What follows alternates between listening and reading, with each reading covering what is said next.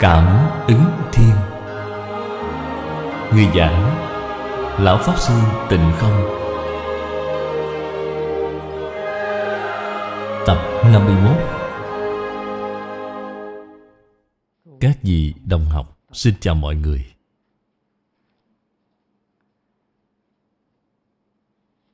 Hôm qua, tôi đã giảng đến Đoạn thứ 39 của cảm ứng thiên. Là những tác tàn hại.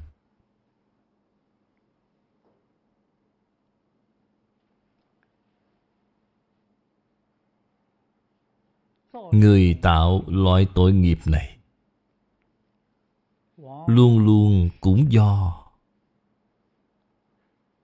Bởi vì tập khí ác Nhiều đời. Bất tri, bất giác.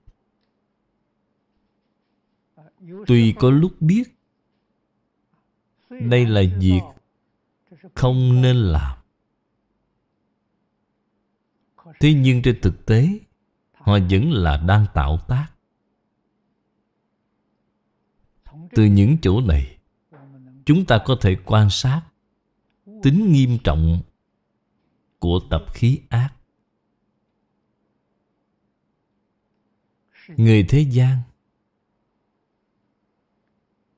Khi có việc vui.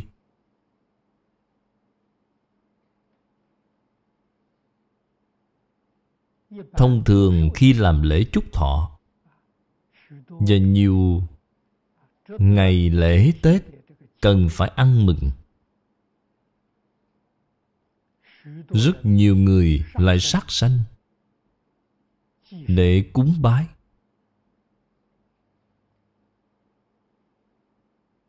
Tạo tác, Vô lượng vô biên tội nghiệp. Chính mình Không thể nào biết được. Những sự việc này chúng ta thấy được quá nhiều. Trên kinh Phật nói được rất tường tận. Ngày vui của chính mình phải nên Đáp tạ quỷ thần. Việc đáp tạ quỷ thần Nhất định không nên sát sanh để cúng bái. Sát sanh để cúng tế, Thành thật mà nói, Thiện thần, Thiện quỷ Đều xa lánh. Họ không bằng lòng Gánh giác Cái tội lỗi này. Bằng là chi họ mà giết thì cái tội lỗi này họ phải gánh rồi. Chỉ có một số ác thần hung sát Mới không chút kiên dè Tiếp nhận cúng dường huyết thực. Người và quỷ thần Đều do đây mà đọa lạc. Người tạo tác ác nghiệp Thì đời sau đọa địa ngục. Quỷ thần tạo tác tội nghiệp Thì đời sau cũng đọa địa ngục. Luân chuyển ở trong sáu đường. Cho nên, Trong tất cả các ngày vui, Nhất định không nên sát sanh.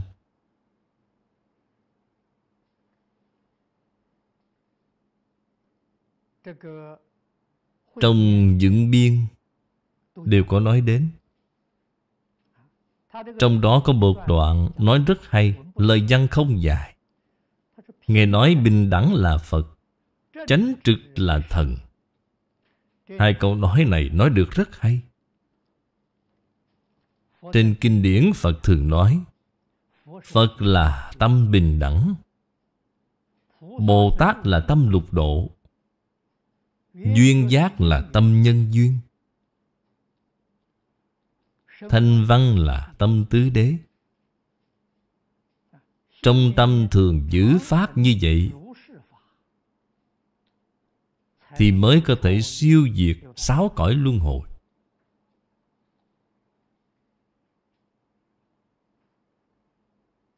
Ngài nói trọn chẳng có chuyện Do được hối lộ mà gián phước. Chúng ta sát sanh, Cúng bái Thần linh. Nếu như lại là sát sanh, Cúng bái Phật Bồ Tát, Đích thực là có sự việc này. Năm xưa tôi ở Đài Loan. Vào lúc đó đã xuất gia rồi. Trú ở Đại Khê. Đại Khê có ngôi chùa tên là Hương Vân. Vào lúc đó chúng tôi trú ở ngôi chùa này.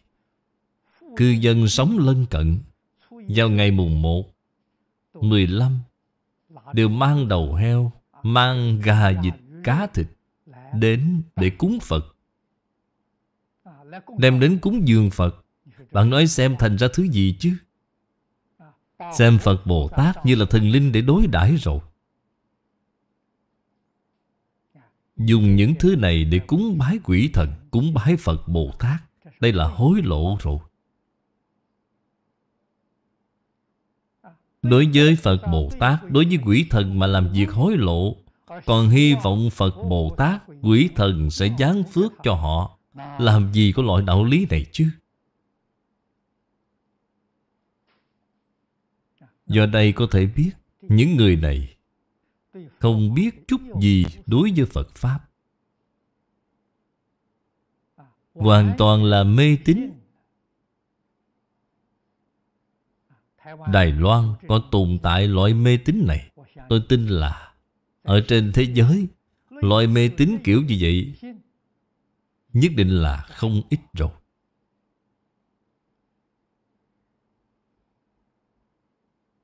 Tri cứu những nhân tố này. Đệ tử học Phật chúng ta Đặc biệt là đệ tử xuất gia phải có trách nhiệm. Nhất định không thể nào thoái thác. Chúng ta là người xuất gia, Không tận hết trách nhiệm. Giáo hóa chúng sanh.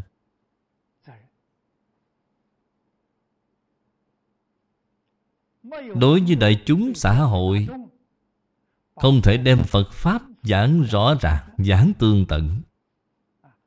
Còn có những người mê tín Thậm chí, Chúng ta còn tạo ra tất cả Những dẫn dắt mê lầm cho đại chúng. Tội lỗi này thì vô lượng vô biên rồi. Đây có thể chính là người xưa đã nói, Trước cửa địa ngục, Tăng đạo nhiều. Chúng ta dẫn dắt tất cả chúng sanh Đi làm việc mê tín. Đây là đặc biệt sai lầm. Thậm chí, Chúng ta ngày nay nói Phật giáo là tôn giáo, Thì đã dẫn dắt chúng sanh mê tín rồi.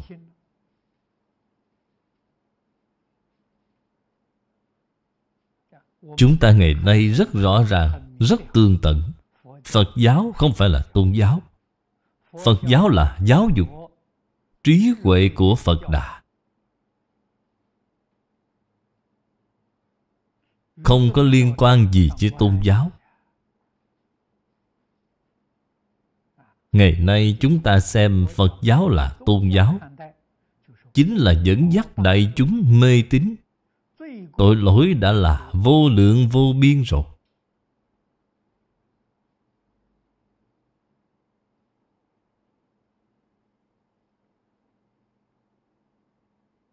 Cho nên ngay chỗ này, Ngài viết đoạn này rất hay. Xã hội có rất nhiều người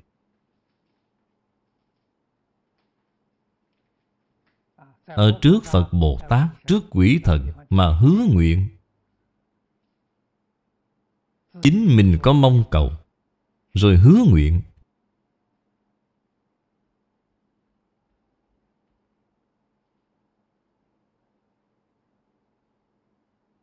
Đến khi hoàn nguyện Thì sát sanh để cúng tế. Loại nguyện này Chính là ác nguyện rồi. Ngài nói ở chỗ này hay, Dẫu được thỏa lòng, Bạn có được cái đã nguyện cầu. Quả nhiên bạn có được rồi. Bạn muốn thăng quan, Quả nhiên thăng quan rồi. Bạn muốn phát tài, Quả nhiên phát tài rồi. Nhưng trên thực tế, Đây không phải là do bạn hứa nguyện Mà được Phật Bồ Tát mãn cái nguyện cho bạn. Quỷ thần mãn cái nguyện cho bạn. Không phải như vậy, Mà là trong mạng của bạn đã được ấn định rồi.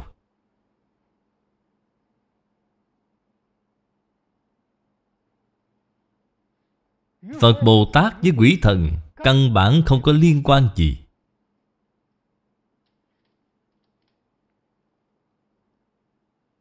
Thế nhưng, Bạn hứa cái ác nguyện. Bạn tạo ra ác nghiệp. Quả báo nhất định ở phía sau. Nếu không ở đời sau, Thì cũng ở đời sau nữa. Phía sau là nói, Ở cuối đời này của chúng ta, Bạn phải gặp cái ác báo này. Nhân duyên quả báo không hề sót lọt. Trong cảm ứng thiên nói được rất rõ ràng.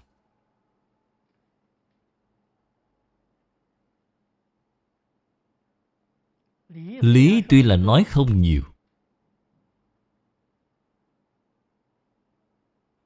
Chú giải của vận biên Bổ sung vào. Cho nên nói Có lý luận viên mãn. Còn sự thì nói quá nhiều. Cái sự này chính là chứng cứ chân thật. Loại chứng cứ của trồng nhân thiện được quả thiện. Chứng cứ của tạo nhân ác chịu ác báo. Thì quá nhiều quá nhiều rồi. Chúng ta đọc bộ sách này. Xem qua nghiệp nhân, Quả báo ngày trước, Sau đó quay đầu lại. Tỉ mỉ quan sát xã hội hiện tại chúng ta.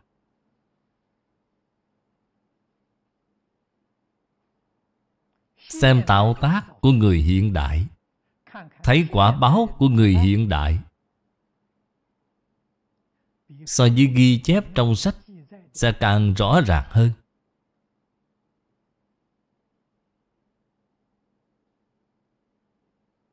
Chúng ta làm sao có thể không tin? Làm sao có thể không nỗ lực mà học tập chứ?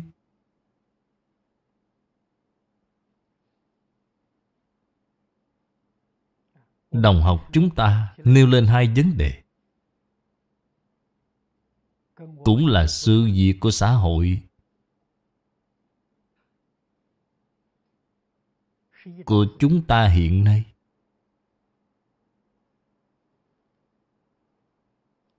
Xã hội hiện tại bởi vì nhân khẩu tăng nhiều.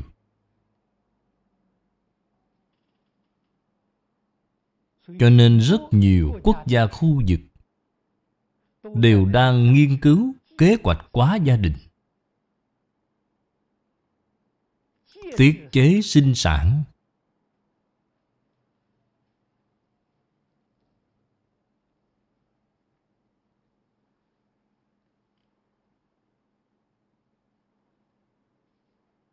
Ở Mỹ cũng là như vậy. Cho nên hiện tượng ở nước Mỹ hiện nay Là số lượng nhân khẩu, Người da trắng dường như đang dừng lại, Không có tăng thêm. Người da màu thì số lượng lại tăng rất cao. Người da màu không có hạn chế sinh sản. Mỗi một gia đình Có 4 năm đứa con 5 6 đứa con là rất bình thường. Cho nên tương lai ở nước Mỹ sẽ toàn là người da màu. Họ là chế độ dân chủ tuyển cử. Người da đen nhiều rồi, Đương nhiên sẽ bầu cử người da đen lên làm tổng thống. Nhân quả báo ứng. Người da màu ngày trước Có nguồn gốc là Nô lệ đến từ châu Phi. Tương lai nô lệ lên làm ông chủ. Người da trắng là ông chủ, Thì chuyển xuống làm nô lệ là nghiệp nhân quả báo mà.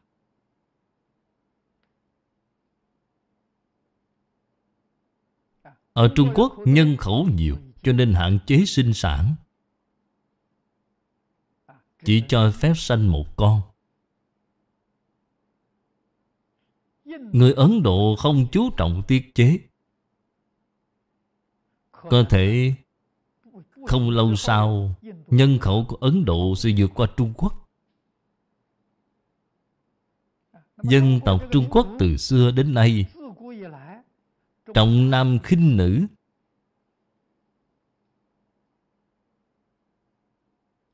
Trong nhà có con trai thì được nương chiều từ nhỏ Bạn có biết được là chúng đến để báo ân hay là đến để báo oán hay không? Chúng đến để đòi nợ hay là đến để trả nợ gì? Cho nên vấn đề xã hội ngày nay nếu như không thâm hiểu Phật Pháp, Thì không thể giải quyết vấn đề. Loại quan niệm chỉ dựa vào cách nghĩ, Cách nhìn của chính chúng ta. Chúng ta chỉ nhìn thấy trước mắt, Không nhìn thấy được hậu quả. Trước mắt cảm thấy cách làm này cũng không tệ.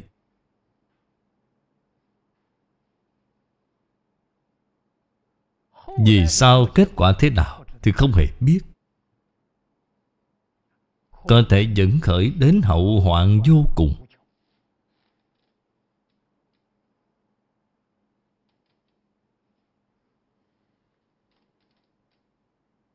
Người thông thường luôn luôn chỉ nghĩ đến trước mắt.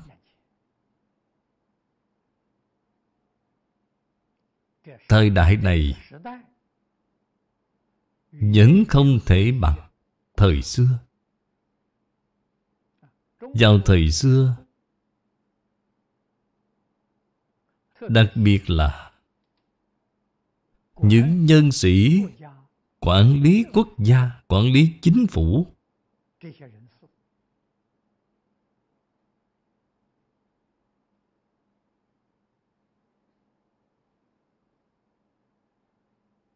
cái mà họ nghĩ đến cái suy xét đến đều mang tính dài lâu. Vào thời xưa làm đế dương họ suy tính là ngàn năm dạng thế. Hy vọng quyền lực của họ có thể dính viễn được củng cố. Con cháu đời đời kiếp kiếp, tiếp nối không dứt.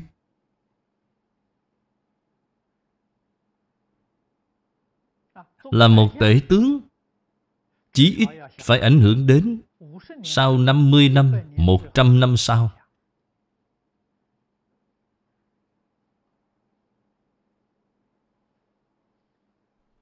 Người đi học Mà rõ lý. Cho dù là chưa làm quan Chỉ là một người thường dân. Họ cũng sẽ vì con cháu đời sau của họ Mà lo nghĩ, Cũng sẽ vì sứ mạng Của lịch sử mà lo nghĩ. Cho nên nghĩ được rất xa.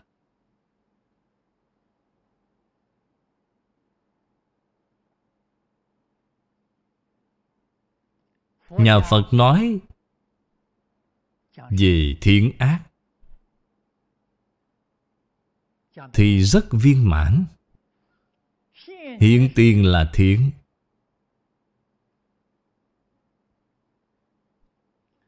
Nhưng nếu đời sau không thiện, thì đây không phải là chân thiện. Hiện tiền tuy là không thiện, nhưng đời sau rất thiện. Việc này đáng nên làm.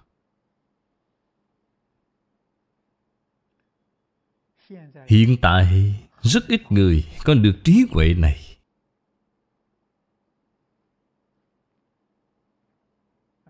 Cho nên không có năng lực phân biệt thiện ác. Rất nhiều sự việc trước mắt Dường như đúng mà lại sai. Luôn luôn chính mình làm sai. Không có trí huệ, Không có tầm nhìn.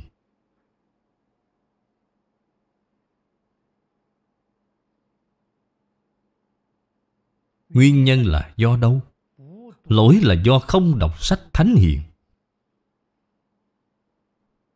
Sách Thánh Hiền là Giúp chúng ta thêm lớn trí huệ. Không đọc sử thư.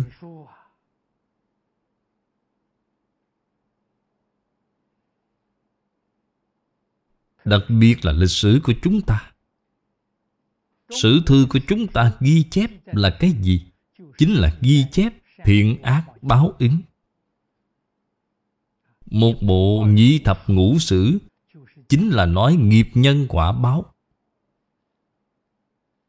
Tăng trưởng kiến thức của chúng ta Khiến chúng ta có năng lực phân biệt phải quấy, Phân biệt thiện ác.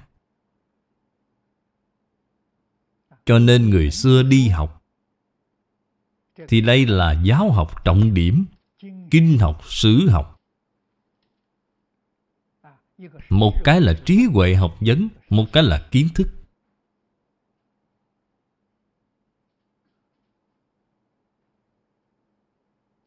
Lịch sử là một tấm gương để soi chiếu. Đối người, đối việc, đối vật.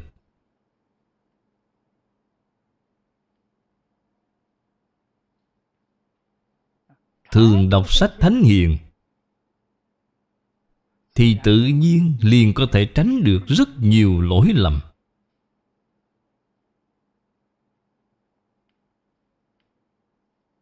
Mỗi một việc lỗi lầm, Nếu từ trên nhãn quan của Phật mà nhìn Là hậu hoạn vô cùng.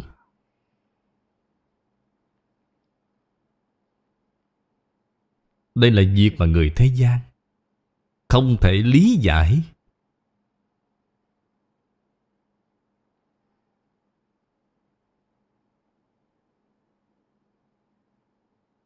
Có đồng tu nói với tôi,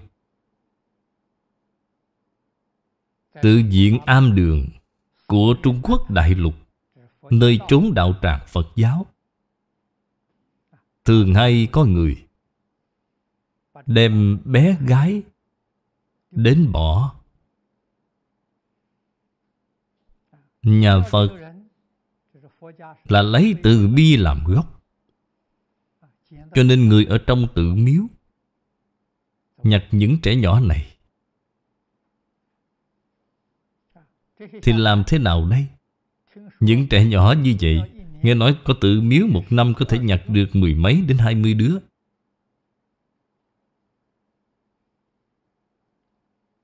Các vị phải nên biết, Hiện tại có, Lúc trước cũng có. Vào nửa thế kỷ trước, Lúc tôi mười mấy tuổi, Thường hay xem thấy, Trong thành thì có Dục anh đường, Nơi nuôi trẻ nhỏ. Vì sao gọi là dục anh đường vậy? Đây là nơi người ta nuôi trẻ nhỏ bị bỏ rơi. Trẻ bị bỏ đi Họ nhặt thì đem đến đó nuôi dưỡng chúng.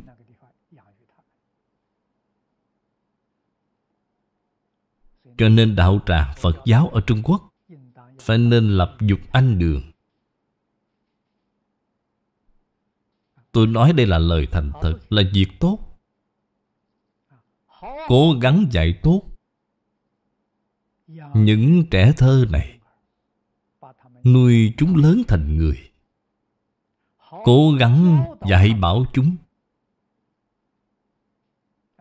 Từ nhỏ, Dùng giáo dục của Thánh Hiền Để dạy chúng. Những trẻ nhỏ này chúng ta dễ dạy. Vì sao vậy? Vì không có người can thiệp. Trẻ nhỏ thông thường Thì có cha mẹ làm chủ, Còn những trẻ nhỏ này Chúng ta có thể làm chủ được rồi.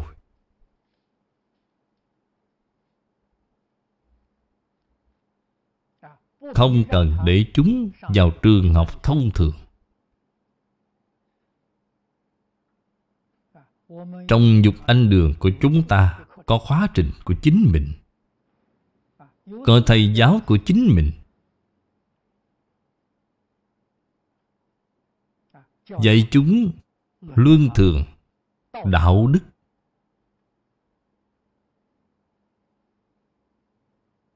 Vậy nhân quả báo ứng. Thánh Hiền Nhân đã nói Đại đạo lý của tâm tánh. Những đứa trẻ này Hãy đem chúng bồi dưỡng ra Tương lai lớn lên Chúng có hai con đường. Một đường là chúng kết hôn Bởi vì đều là con gái.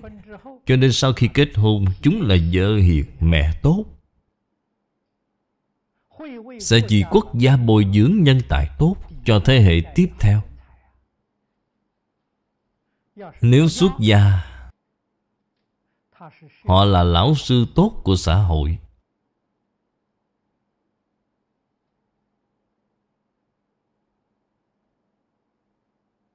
Cho nên chúng ta cần phải biết Khéo léo mà dẫn dắt.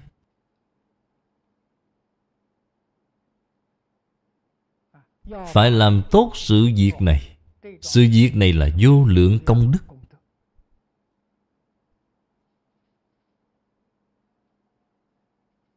Nhà Phật thường nói cứu một mạng người còn hơn xây bảy tháp phù đồ.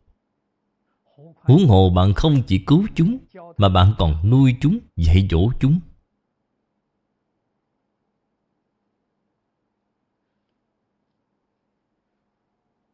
Chúng ta làm công việc này chính là vì quốc gia, vì xã hội, vì Phật Pháp, vì chúng sanh bồi dưỡng nhân tài. Đây là hành bồ tát đạo.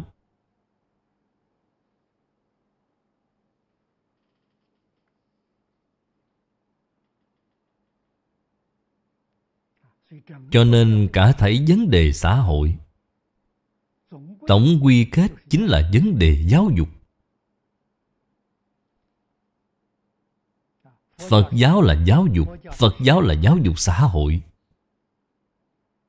Hơn nữa, Phật giáo là giáo dục xã hội đa nguyên văn hóa.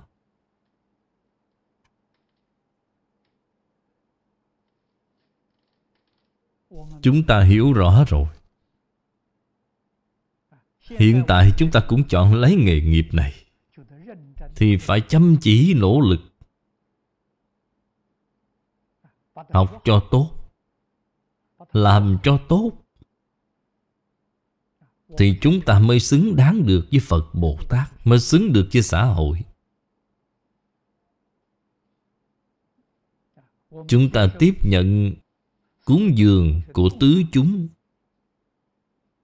Mới chân thật có thể trên đền bốn ân nặng, Dưới cứu khổ ba đường.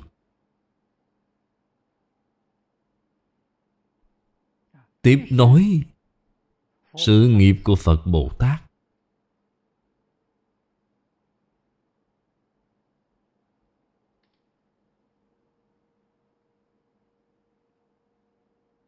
Hoàn thành Sứ mạng Phật Bồ Tát. Đã giao phó lại cho chúng ta. Các vị đồng học,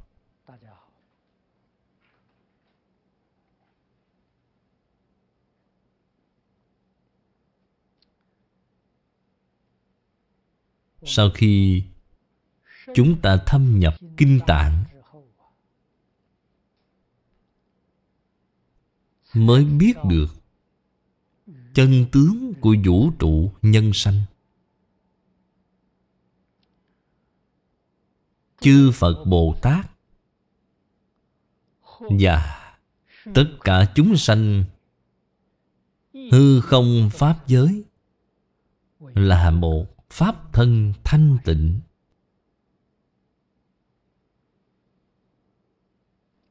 Cho nên Lòng yêu thương chân thành Liền lưu lộ ra Một cách tự nhiên. Bình đẳng quan tâm. Đối với tất cả chúng sanh, Trong hư không, Pháp giới, Bình đẳng, Yêu thương.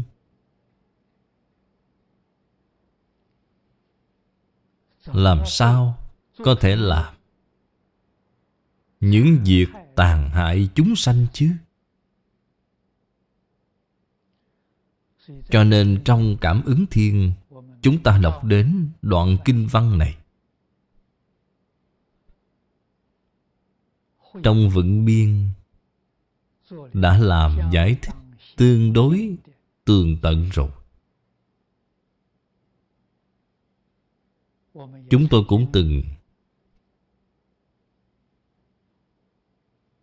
Báo cáo qua.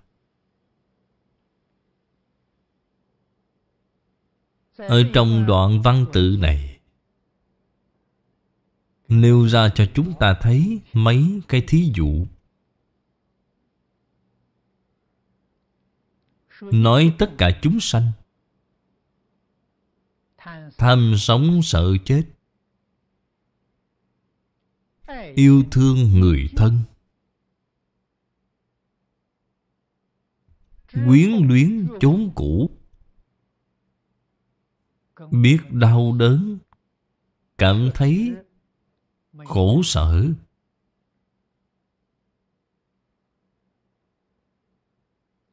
Chỉ cần chúng ta tỉ mỉ quan sát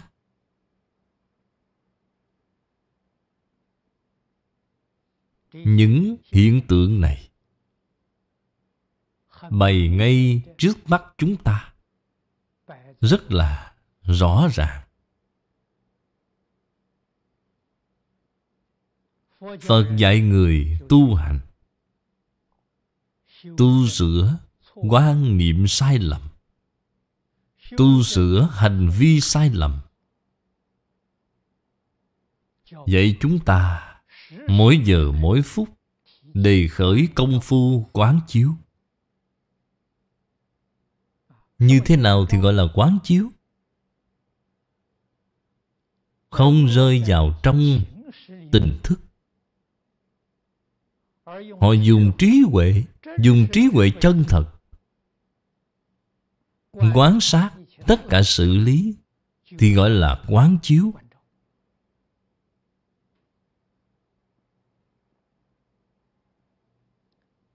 Người chân thật giác ngộ.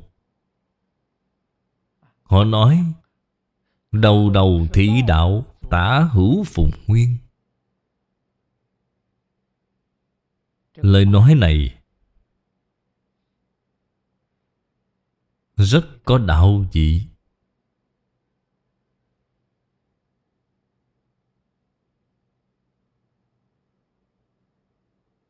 Những lời nói này Người thế gian Rất khó thể hội. Người sơ học Cũng không dễ dàng thể hội. Cái gọi là đạo Chính là Chân tướng của vũ trụ nhân sanh. Cái gọi là nguyên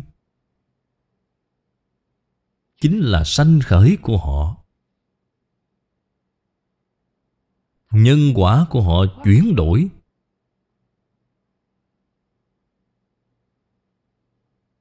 Rõ ràng tương tận.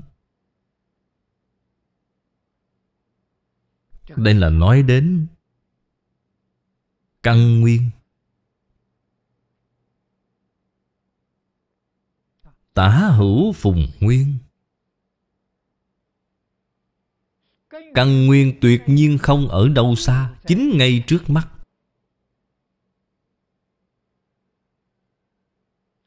Ngày nay, Người thế gian nghiên cứu, Khởi nguồn của vũ trụ, Khởi nguồn của sinh mạng, Nằm ngay trước mắt.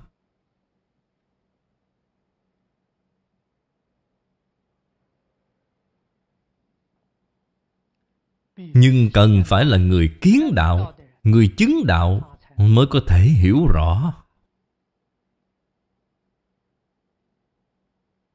Cho nên nói với chúng ta, Nhất định phải giữ cái tâm nhân từ.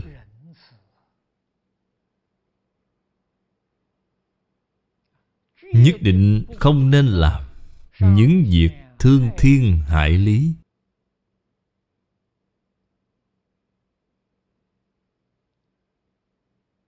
Con người phải biết tự cầu đa phước.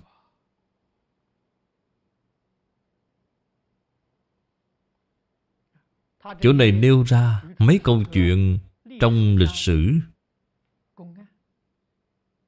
Ngày trước, Phần nhiều người Đi học Đều đã từng đọc qua kinh sách.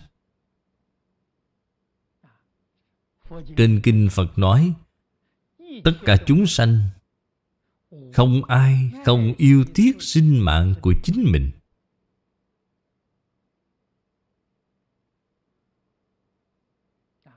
Vương khắc giết dê Đãi khách. Dê ở trước mặt người khách, Quỳ xuống, Chảy nước mắt. Vâng, Bạn thử nghĩ xem Chúng biết thương tiếc sinh mạng Chúng ta xem thấy tình hình này Còn nhẫn tâm mà giết dê để ăn thịt hay sao?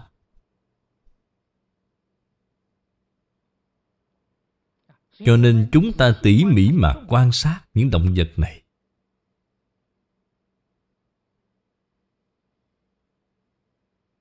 Cách đây không lâu, chúng ta nghe được cư sĩ tề ở Đông Thiên Mục Sơn. Nói về việc phóng sanh ba ba. Con ba ba này có linh tánh. Vừa nghe nói người không giết nó, Muốn thả nó, thì nó cảm ơn đầu cúi sát đất. Vô số biểu lộ Mà chúng ta có thể thấy được. Mới biết được động vật Hoàn toàn không hề khác với con người. Phàm là động vật có sinh mạng,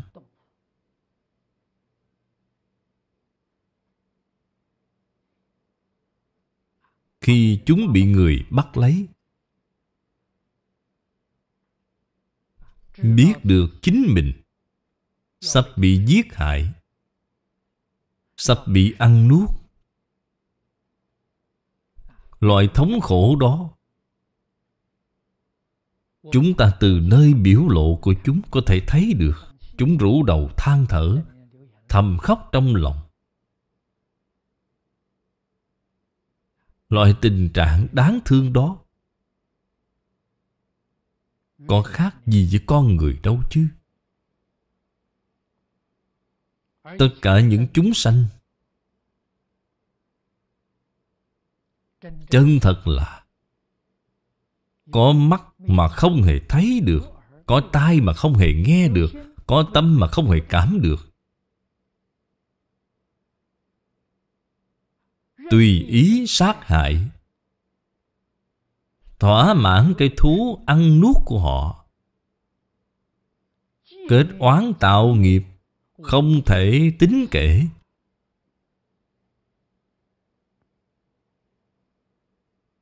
Thánh nhân dạy bảo chúng ta đạo trời tuần hoàn nhân quả báo ứng không hề sót lọt.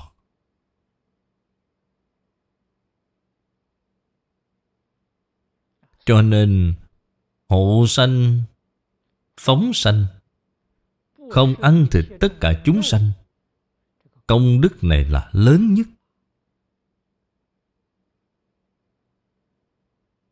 Chúng ta phải luôn luôn Cảnh tỉnh chính mình. Không chỉ chúng sanh hữu tình Phải yêu thương, mà cây cối hoa cỏ cũng có linh tánh.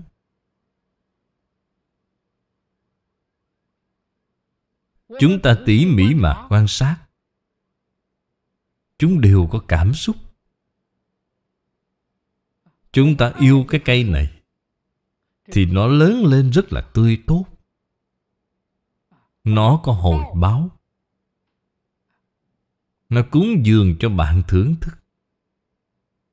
Chúng ta yêu hoa Thì cái hoa này nở đặc biệt đẹp. Dường như thật sự, Chúng ta có tình cảm qua lại với nhau. Đây đều là sự thật. Không chỉ hoa cỏ, Có cảm tình. Mà ngay đến sỏi đá cũng có cảm tình. Khoáng vật cũng có cảm tình. Trên Kinh Hoa Nghiêm nói với chúng ta, Tình giữa vô tình, Đồng viên chủng trí. Chúng ta ở ngay trong cuộc sống thường ngày. Bình lặng tỉ mỉ mà quan sát. Đều có thể thấy. Vào thời xưa, Sanh công thuyết pháp Đá cũng gật đầu.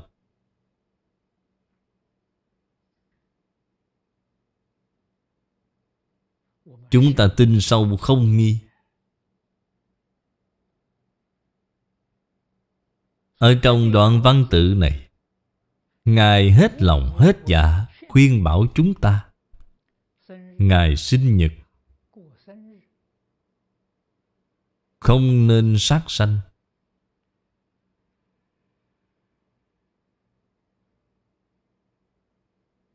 Con người mưng trường thọ,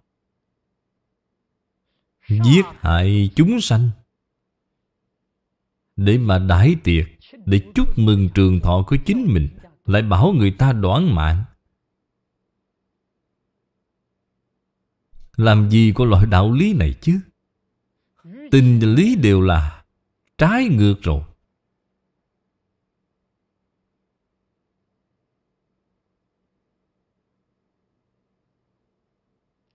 Ngày vui, Ngày sinh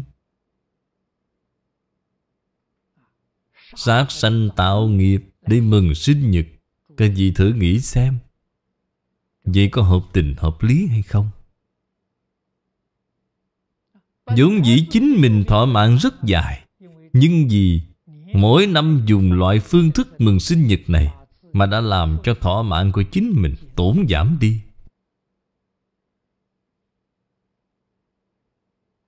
Không chỉ thọ mạng tổn giảm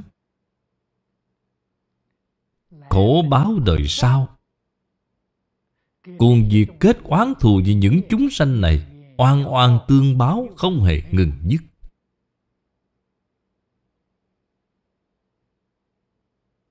Người tin tưởng thấy được rõ ràng. Ngày vui, ngày mừng thọ Không nên sát sanh. Ở chỗ này Ngài đã nêu ra rất nhiều thí dụ. Để nói về tan sự không thể sát sanh. Tàn ma thì lấy đau buồn làm điều chánh yếu. Làm tiệc mời khách. Dùng đồ chay là tốt lành nhất. Cúng tế không được sát sanh. Việc này ở trên Kinh Địa Tạng Phật nói rất rõ ràng rồi. Người đọc qua Kinh Địa Tạng Phải ghi nhớ.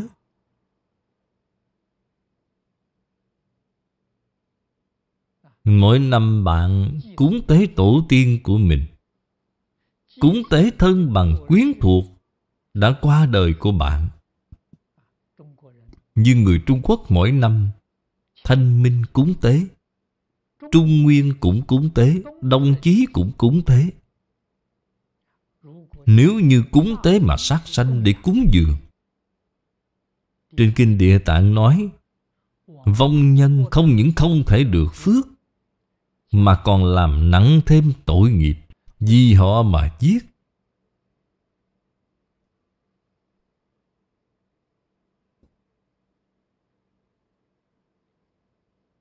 Tăng thêm khổ báo cho họ. Đây là người còn sống Ở đời chúng ta vô tri. Họ đọa ở ác thú. Tội nghiệp đã rất nặng rồi. Làm sao có thể nhẫn tâm Làm cho tội nghiệp của họ nặng hơn nữa chứ?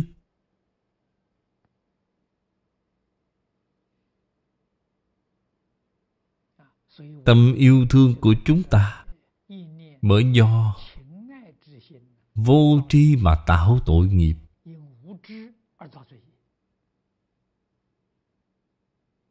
Làm nặng thêm khổ nạn cho người ta. Thấu hiểu những chân tướng sự lý này, chúng ta chắc chắn sẽ không nhẫn tâm mà sát sanh để cúng tế.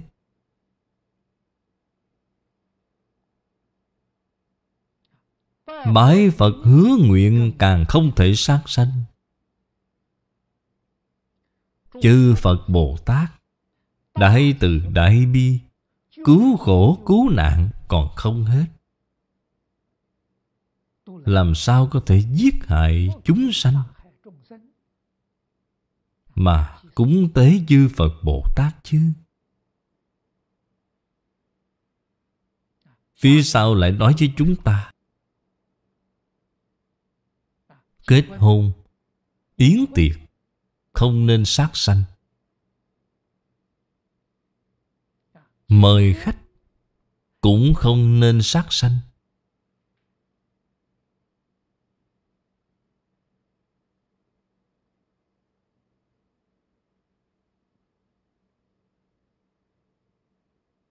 lại nói đến nghề nghiệp kiếm sống.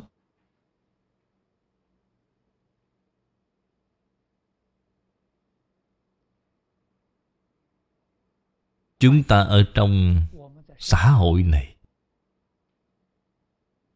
cần phải có nghề nghiệp kiếm sống chính đáng.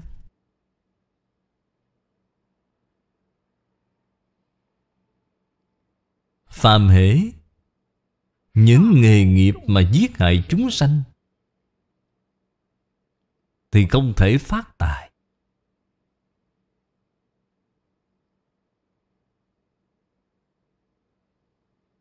Những lợi nhuận mà bạn có được đó, quyết không phải nhờ việc giết hại chúng sanh mà bạn mới có được, thì bạn mới phát tài.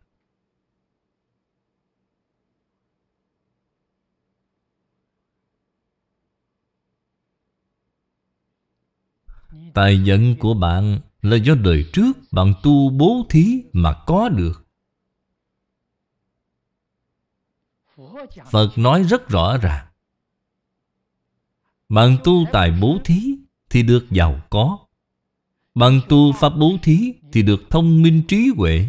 Bạn tu vô quý bố thí thì được khỏe mạnh sống lâu.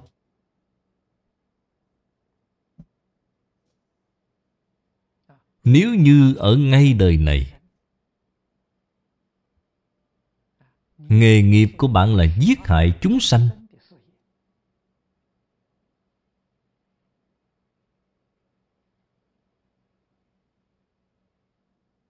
Tuy là trước mắt bạn Được phú quý,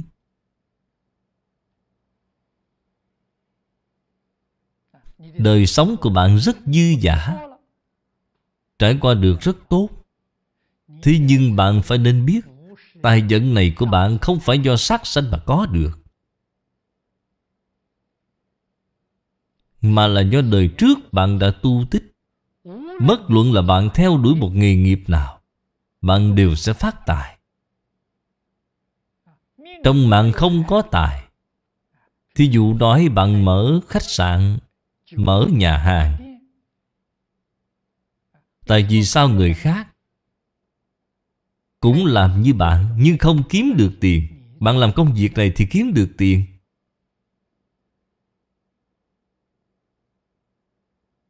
Từ ngay chỗ này chúng ta liền có thể phát hiện, Kiếm được tiền là ở trong mạng đã có, Bất luận là từ nơi một nghề nghiệp nào, Bạn đều kiếm được tiền.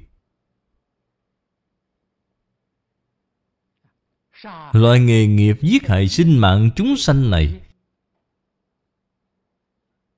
Khi phước đời trước của bạn đã hướng hết rồi, Thì ác báo liền hiện tiền Cho nên chúng ta thật bình lặng, Thật tỉ mỉ mà quan sát thì biết được hiện tượng này.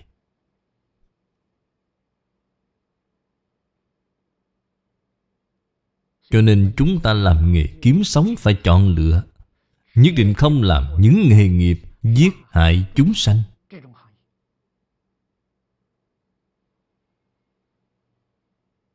Loại nghề nghiệp này chắc chắn bất lợi đối với chính mình. Lợi nhuận có được trước mắt, Quyết định không phải do cái nghề nghiệp này mà có được. Loại nghề nghiệp này Quả báo gì sau Phải nhận lấy.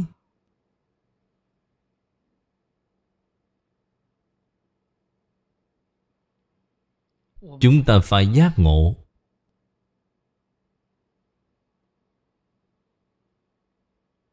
Lại nói đến, Ngay trong cuộc sống thường ngày của chúng ta, Phụng dưỡng cha mẹ cũng không thể sát sanh. Trong việc ăn chay, dinh dưỡng bạn hấp thu đã không thể hết rồi. Hà tất bạn phải giết hại chúng sanh chứ?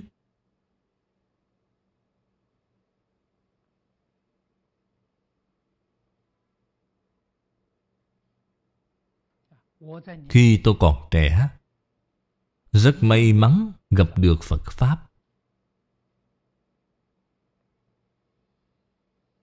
Đọc được quyển Liễu Phạm Tứ Huấn. Đọc được Cảm ứng Thiên. Tôi rất tin tưởng đạo lý này. Cuối năm tôi 26 tuổi. Tôi đem những lý luận Chân tướng sự thật này Làm cho rõ ràng. Tôi liền phát tâm ăn trường chay. Tôi ăn chay đã 50 năm rồi. Hơn nữa đời sống của tôi rất đơn giản. Không có chút lãng phí nào. Tình hình sức khỏe của tôi không kém gì so với người khác.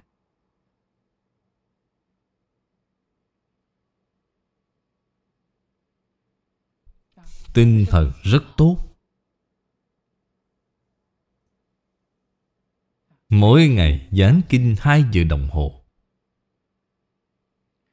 Không nghỉ một ngày nào.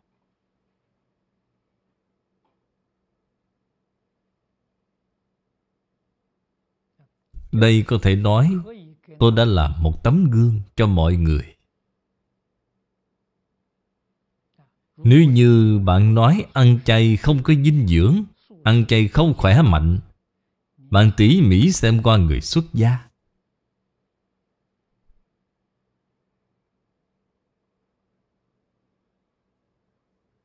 Có thể tăng thêm tính tâm của bạn, Thay đổi quan niệm của bạn.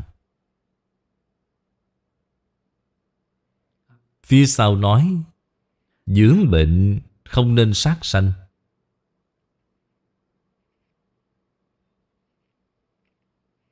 Càng phải nên yêu thương sinh mạng của tất cả chúng sanh, Thì chính mình mới có thể được sống lâu. Bố thí vô úy là cái nhân của khỏe mạnh sống lâu.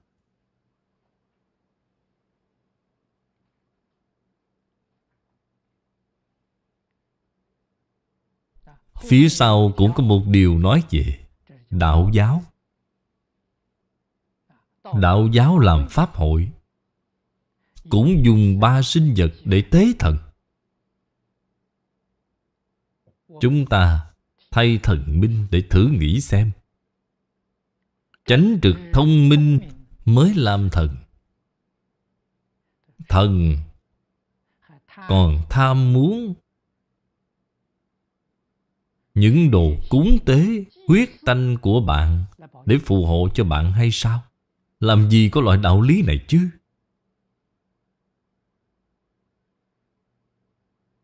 Cho nên Pháp hội tế thần Không thể sát sanh.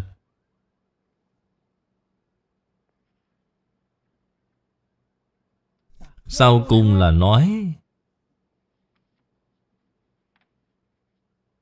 Thế tục. Qua năm mới. Qua năm mới, Nhà nhà đều sát sanh. Nhà nhà đều ăn thịt. Nhất là sát sanh để cúng tế tổ tiên. Thực tế mà nói, Cũng là làm nặng thêm. Tội nghiệp cho tổ tiên. Tổ tiên không những Không thể được phước, Còn do đây mà Gặp nạn. Đây là do quan niệm sai lầm của chúng ta tạo thành.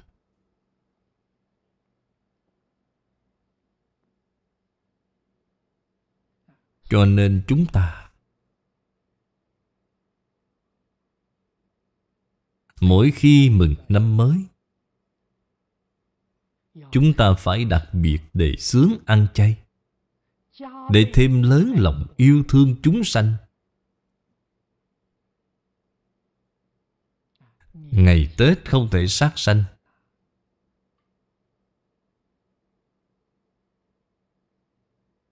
Ngày vui không thể sát sanh.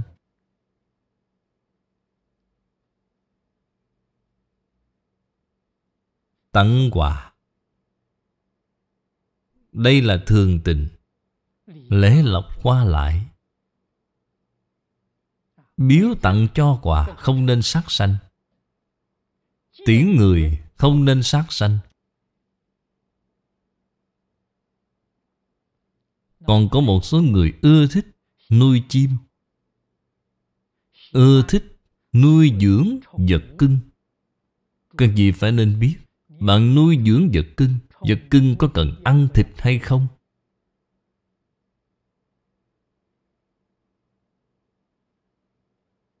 Nuôi cá vàng Thì phải dùng tép cá nhỏ để cho nó ăn. Nuôi chim Cũng phải dùng sâu trùng để nuôi chúng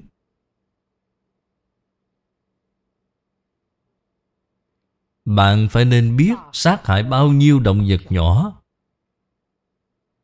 Để đáp ứng cho thú cưng của bạn Bạn có biết là trong đây có sát nghiệp hay không? Trong đây có quả báo nghiêm trọng hay không? Cho nên Phật dạy người Phải hoàn toàn đoạn dứt sự ưa thích bạn mới có thể hồi phục được tâm thanh tịnh. Tâm thanh tịnh mới sanh trí huệ. Có trí huệ mới hiểu rõ được chân tướng của vũ trụ nhân sanh. Bên trên có nêu ra mấy thí dụ. Hy vọng người nghe được. Có thể từ một mà suy ra ba, Nghe một hiểu mười.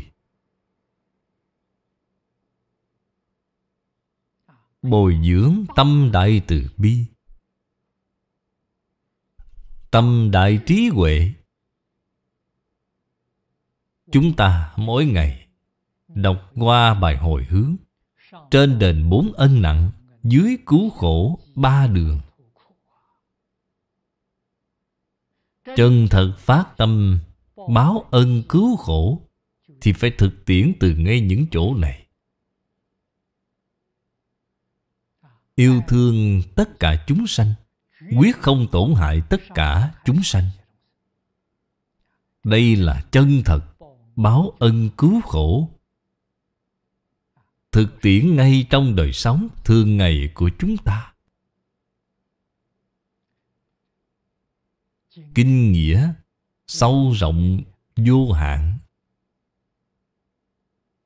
Chúng tôi chỉ giảng giải, đơn giản với mọi người đến chỗ này a di đà phật.